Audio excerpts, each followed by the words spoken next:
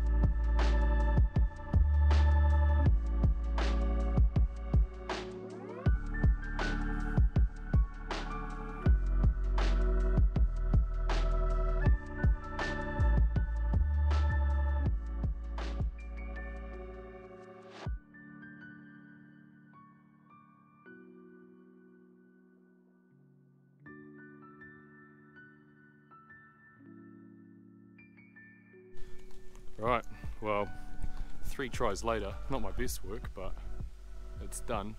Had to do a little false miter there because the fascia has a little weather groove in the back to pick up the soffit.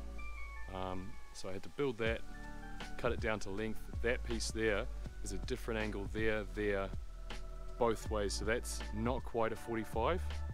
That is a 45, but it's turned out just the way it's sitting that because there's a bit of a cup in this piece of fascia here, that's not um, a zero degree cut, it's about one point something degrees.